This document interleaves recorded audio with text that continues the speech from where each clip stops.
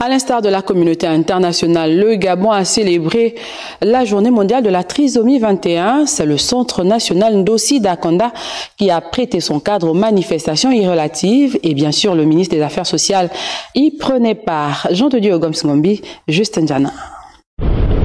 Le Centre national Ndossi choisit cette année pour célébrer la journée mondiale de la trisomie 21 sous le thème Le rôle de l'innovation pour alimenter un monde accessible et équitable. Cette journée revêt une importance très particulière.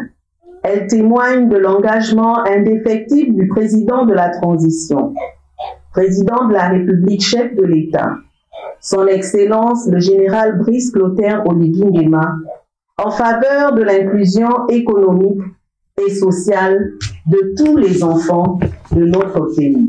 Une journée dédiée aux enfants autistes et trisomiques.